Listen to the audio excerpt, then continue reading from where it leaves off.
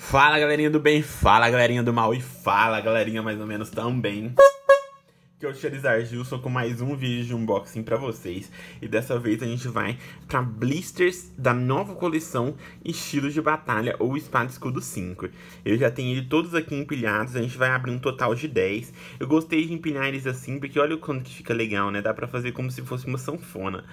Mas enfim, é, hoje a gente vai abrir 10 é, blisters packs, vamos ver se a gente consegue sair pelo menos uma ultra rara, né? Em geral aí, tá vendo 3 ultra raras por box aí de estilo de batalha, um pouco menos que voltagem vívida na minha opinião. É, então acho que com 10 a gente poderia esperar aí pelo menos uma ultra rara, mas lembrando que é completamente aleatório esses produtos. É, não é um produto que eu gosto tanto, porque se for para comprar booster avulso, eu prefiro tentar a sorte de comprar um booster direto de uma booster box aberta, né? Que vezes lojas de cards vendem, você pega um da booster box aberta e tenta a sorte dessa maneira, mas é, pode vir, tecnicamente, vem a mesma quantidade de ultra rara que ele viria na coleção normal, mas vai muito de aleatório. Da mesma maneira que aqui pode vir 5 é, ultra raras, pode não vir nenhuma, que eu acho que é o que mais provavelmente vai acontecer.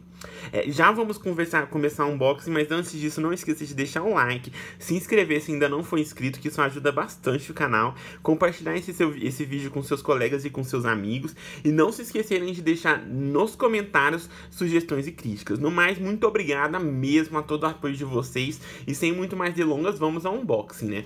Lembrando que essa é a coleção mais recente de Pokémon, né? Estilos de Batalha Espada e Escudo 5, é a coleção mais recente que lançou mais recentemente pro Pokémon mesmo, a mais nova de todos. E aqui a gente tem uma arte de todos os boosters que viriam, né? A gente tem do Empoleon, tem do Urshifu, golpe decisivo, tem do Tiranitar, temos mais do Urshifu, temos do Urshifu, golpe fluido, outro do Empoleon, mais dois do Tiranitar.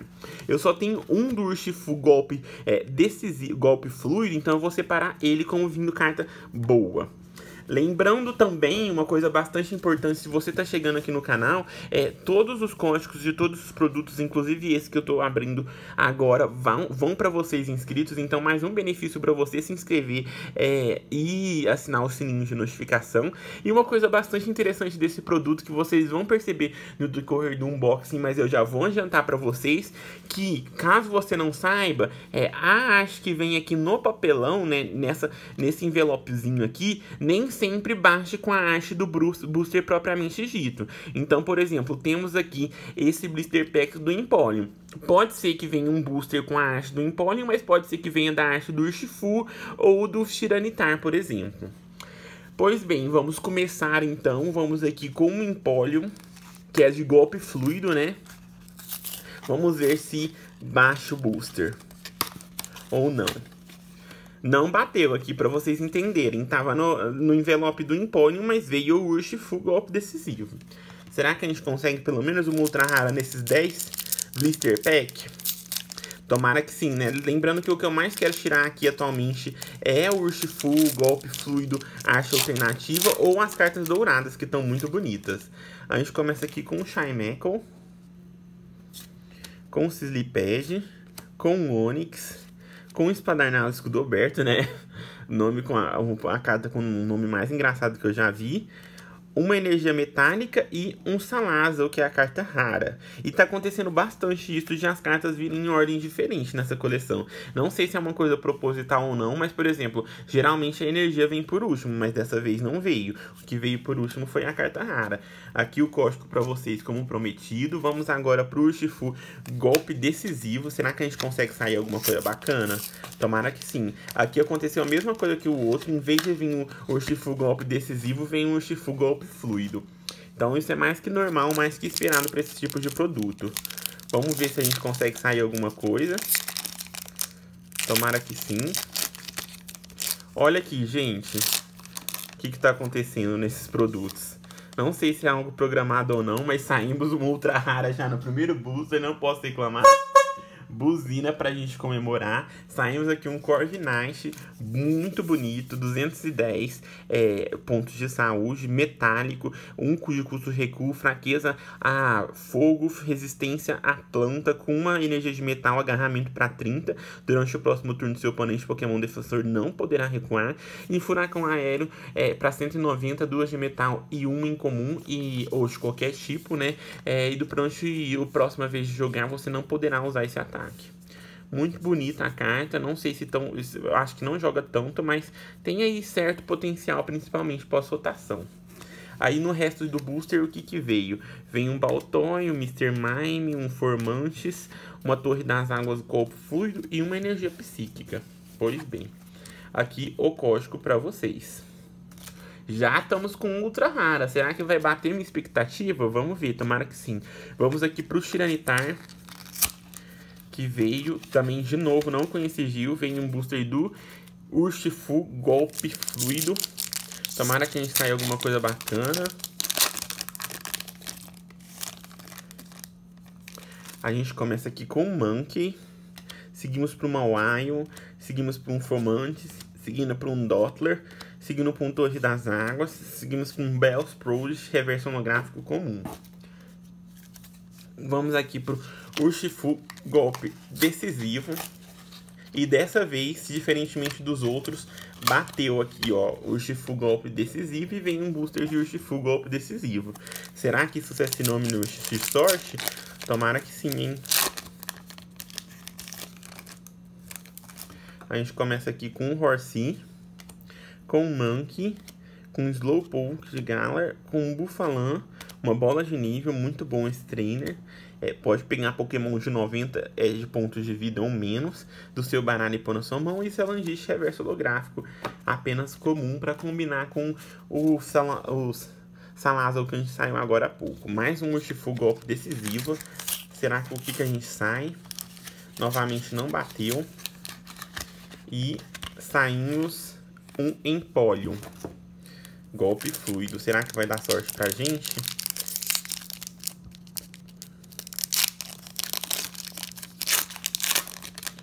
Tomara que sim. A gente tem um Spearow, um Zubat, um Cubone, novamente energia fora de lugar, um Luxio e um Gelicente, que é a carta rara.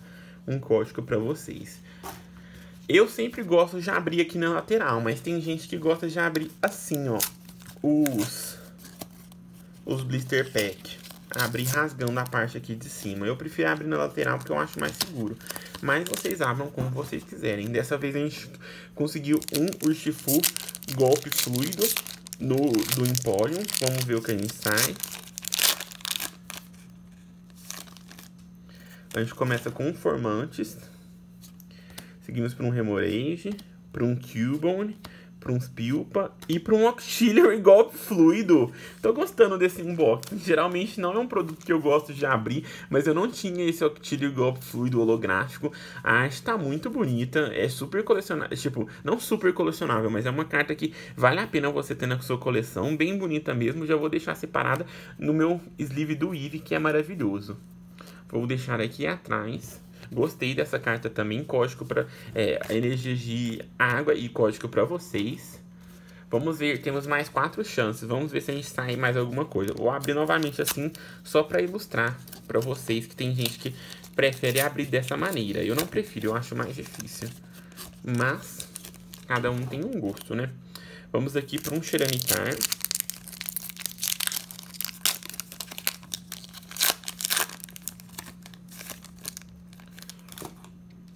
Temos um Pachiriço, um Shaimekon, um Shaimekon, um Ronege, um bloqueador de ferramentas, um Bruxis e um Crawldowns, que é apenas uma reversa holográfica incomum. Código para vocês. Vamos aqui para o Tiranitar. Tecnicamente, esses blisters já cumpriram o papel deles, né? Já veio um ultra rara, já veio um holográfico, então tá mais que justo nessa né, abertura de blister, mas é um produto bem aleatório, que nem eu falei pra vocês. E eu acho que tem um público bem específico. A gente tem aqui um Horsey, um Monkey, Slowpoke de Galar, um Spectra e um Primeape, que é uma carta rara, golpe decisivo. E uma energia tipo grama, código para vocês. Temos só mais dois boosters. Será que acontece algum milagre aí e a gente consegue sair mais um ultra rara? Tomara que sim, hein? É bom que tem várias maneiras de você abrir esse produto, né? Essa daí é outra maneira que eu mostrei. Temos aqui um Urshifu Golpe Decisivo.